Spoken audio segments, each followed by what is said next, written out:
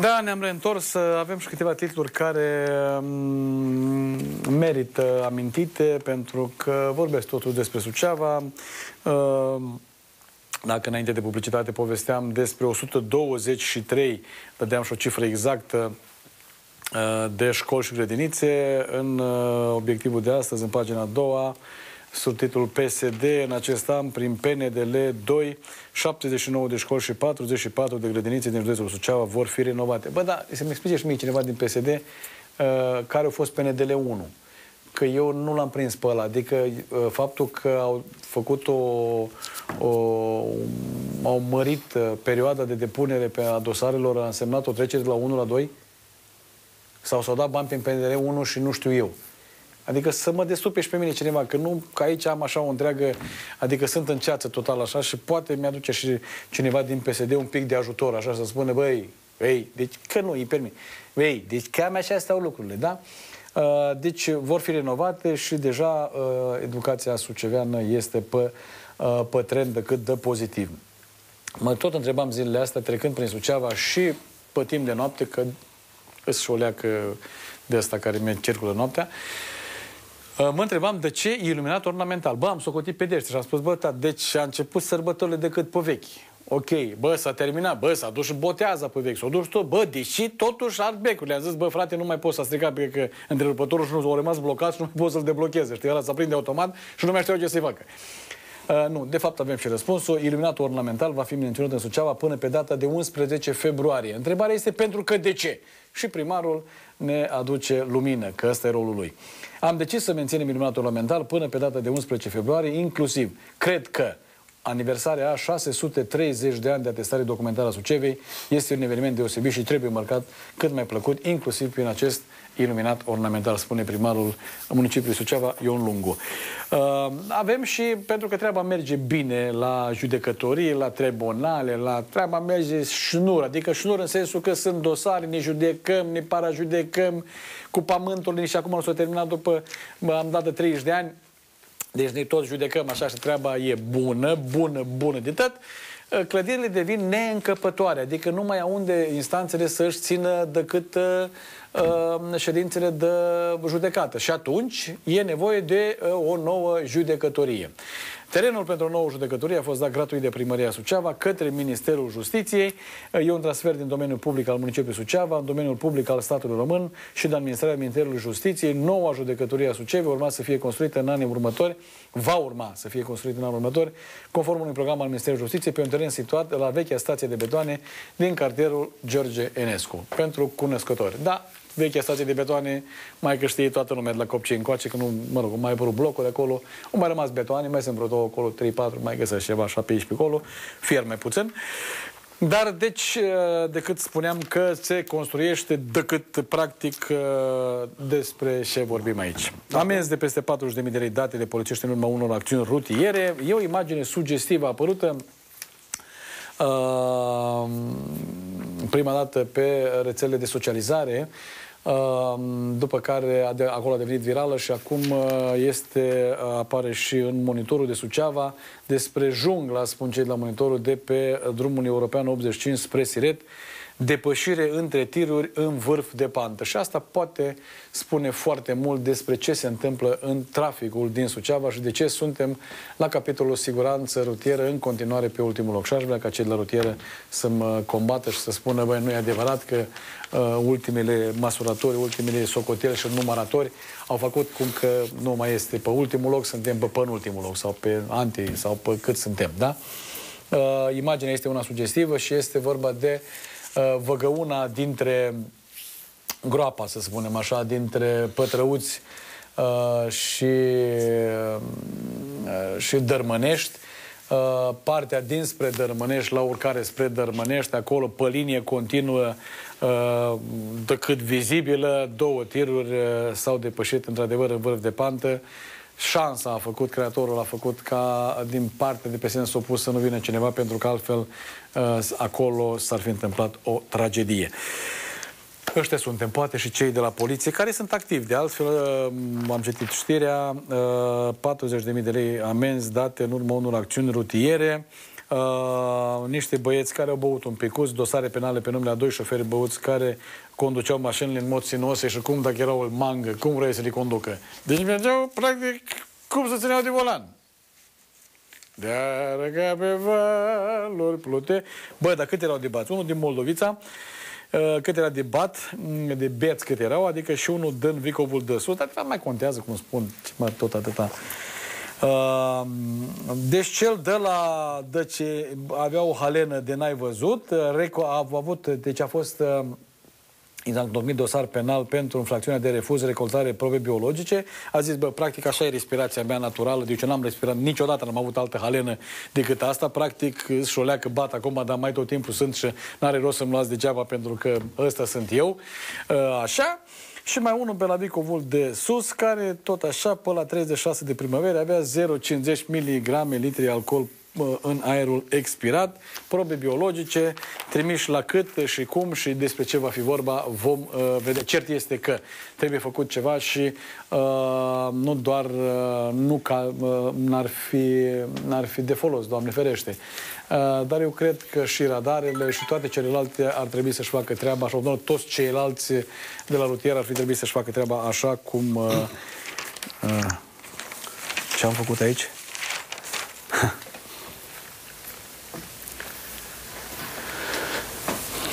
Trebuie să spun un telespectator de-al nostru, uh, fidel de altfel, uh, ne spune domnule Culiciuc, el către mine așa, nu-i mai luați apărarea, nu vă mai spun cui, Porceaua e moartă în coteț. Asta ca să folosim un regionalism de aici din Bucovina.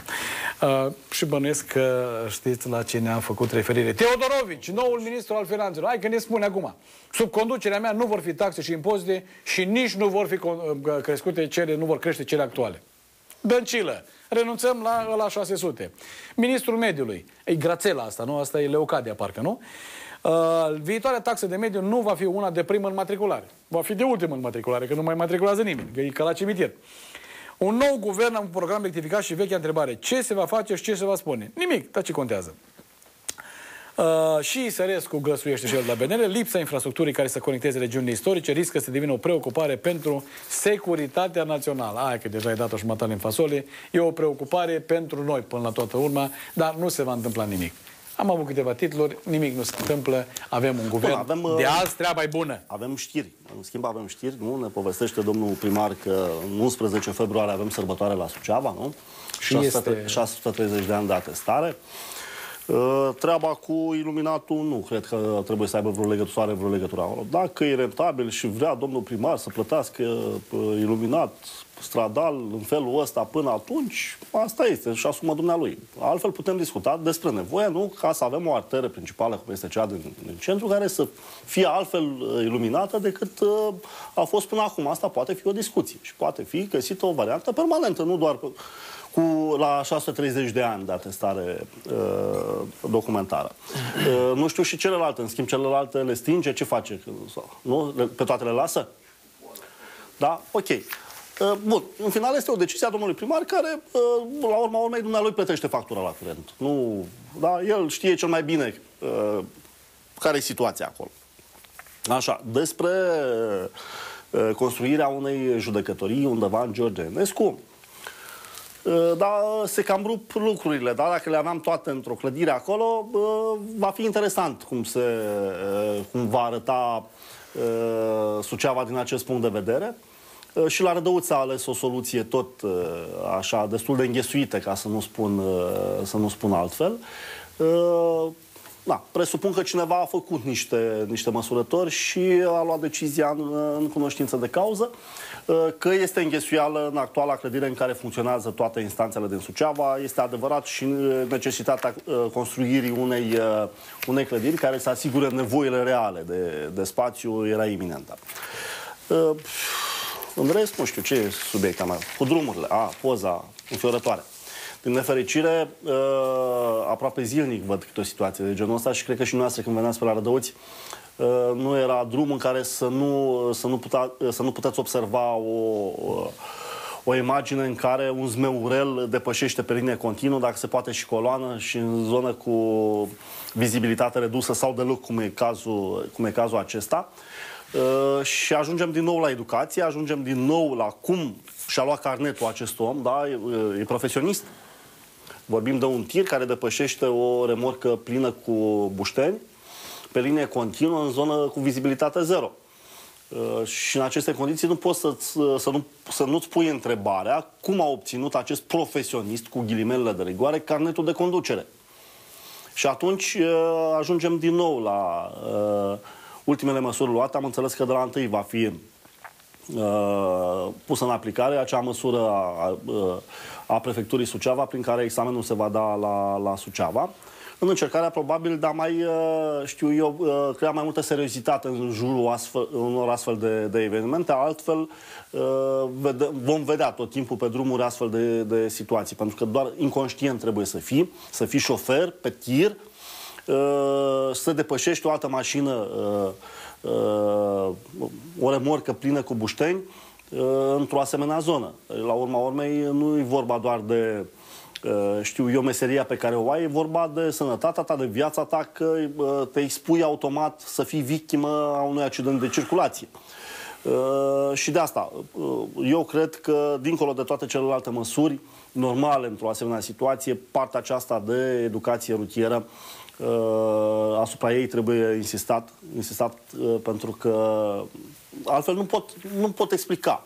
Uh, vorbim de, în situația asta trebuie să vorbim de un om în toată firea, da? un profesionist, un om a cărui meserie e asta să conducă uh, uh, mașini, serviciul lui. Eu știu că întotdeauna uh, cei mai preventivi în condus erau, uh, erau profesioniștii, pentru că e slujba, e meseria lor, e pâinea lor. Ori acum am ajuns în, în situația în care eh, cele mai mari pericole vin din partea profesioniștilor, vin din partea șoferilor de tir, a mașinilor mari, a agenților de vânzări, care la fel în oraș sunt cei care eh, de cele mai multe ori sunt cei mai agresivi, au tot felul de targeturi de îndeplinit, au tot felul de, eh, de trasee de, de făcut cât mai repede și în aceste condiții mulți dintre ei renunță la Uh, minimele, uh, uh, știu eu, precauții atunci când, când circulă pe drumurile publice. Da, într-adevăr, sunt, sunt colegi, pentru că tot asta este, pentru că aceasta este formula, apelativul pe care îl folosesc, colegul, colegul, colegul, sunt colegi care nu prea au ce căuta acolo și, din păcate, Uh, sunt un pericol public uh, pentru toți ceilalți participanți la trafic, indiferent dacă sunt, uh, nu știu, șoferi, conducători auto sau uh, pietoni. Din păcate, spuneam în lucrurile așa stau. Rectorul Universității București demisionează din CNATDCU în urma scandalului Popa. E vorba de Consiliul Național de Atestare a titlurilor, diplomelor și certificatelor universitare. Uh, el a trimis Ministrul Educației și să ia notă de demisia sa din aceste uh, din uh, funcțiile pe care le are. Uh, spune domnia sa că lucrurile au luat o întorsătură uh, grotescă. Uh, atunci când demnitatea publică ocupată cândva de Spiru Harete revine universitar care este și rector, iar acesta suferă dramatice episoade de luptă infantilă cu gramatică pe baza limbii române și ar trebui mai degrabă să pună mâna pe o carte elementară de sintaxă. Uh, ei bine, în astfel de circunstanțe, prezența mea în continuare în consilii de, ale Ministerului ar una mult proprii mele sănătăți sufletești, spune domnia sa, și noi îl credem pe uh, cuvânt. Bănuiesc că deja s-a luat act de uh, domnisia, demisia domniei sale și probabil că altcineva se va ocupa. Președintele de la uh, Neamț al Consiliului Județean Neamț Ionel Arsene, uh, din PSD, trebuie să spunem ca să fie clar, a fost uh, arestat preventiv pentru 30 de zile. El a fost acuzat de trafic de influență pentru o faptă pe care a făcut-o în anul de grație 2013. În 2013 ar fi pretins de la cineva de la un Xulescu 100 de mii, uh, să-i dea 100 de mii de coco, din ce am citit eu, văd aici nu scrie sau poate da și nu știu eu să citesc că de sunt din Suceava. Uh, 100 de mii de euro, bani pe care i-a primit ca să-și, uh, nu știu, să-și folosească influența în zona uh, Agenției Naționale de Integritate, numai că uh, nu s-a întâmplat. Coco înapoi nu i-a dat, că de Coco știi când de ei e sfată vaca, știi? Când trebuie să dai înapoi, moare tășeptelul, știi? Adică e complicat să dai înapoi. Și a zis, da, spune că îți dau mâine, îți dau poi mâine și ăla l-a dat în gât și uite, povestea asta a mers președintele în exercițiu al Consiliului Județean Neamț, Ionel Arsene, arestat preventiv pentru 30 de zile. Curtea de apel Bacău a decis această arestare ca să știți despre ce e vorba. O nouă lege a pensiilor Uh, va intra pe piață, va avea costuri suplimentare față de bugetul actual, spune Olguța, Olguța de la Dolj, acolo unde uh, curg milioanele către ajutoarele sociale și fac din Dolj, evident, un uh, fief Băi, ce cuvânt greu și nu regional. Deci un fief al uh, PSD-ului, uh, evident, în zona respectivă. Și nu numai. Uh, Lia Olguța Vasilescu spune că vor urma schimbări la legea pensiilor, în urma cărora 5 milioane dintre acestea vor trebui recalculate, precizând în acel moment uh, că proiectul este finalizat. Uh, Orlando, Orlando, deci nu or, cu care Orlando, ministrul de finanțe Orlando uh, are misiunea de a găsi bani pentru ca pensiile să poată fi plătite. Am văzut un material și trebuie să e decât pe device-ul meu, dar dacă, dacă mă ajut un picuț, e complicat un picuț cu ajutatul, dar dacă o să mă ajut un picuț uh, um, tehnologia de dimineață, am să găsesc, evident, și material. Uite, un material foarte interesant uh, care vorbește despre salarii, pensii, inflații, uh, prețuri mărite și așa mai departe într-o guvernare a celor de la PSD. Că poate așa ne prindem și noi un pic, un pic. Bă, nu zic să ne prindem foarte tare, dar poate ne prindem un pic. Dacă și știu să la chestia asta, știu pe naiba. Da, uh, deci cam așa. Uh, inflația a atins în 2017 un nivel record al ultimilor patru ani și era ceva de genul. Energia a crescut cu 12%, uh, combustibilul cu aproape 6%, transporturile 23%. Uaule, că este decât alimentul de bază al tuturor. Dacă îmi face o iașnița, de ce vorbești? 43%. Untul, 23%. Carnea, aici arată copănele, da, carnea, fie ea de care o fi, da? 5,5% și nu în ultimul rând fructele cu 11%. Știți că vă spuneam ieri de dimineață cum că orice trecere pentru a, uh, a-ți împrospăta uh, proviziile înseamnă bani mai mulți raportați uh, la perioada, nu știu, august 2017. Și vor însemna în continuare, pentru că mergem, suntem pe un trend bun. Euro cotat astăzi la 4,65, mai numai 66,40. Dolarul american la 3,74,72. Treaba financiară deja e în România, păcât pe stabilitate și e bine, dar e bine, bine, bine de tot.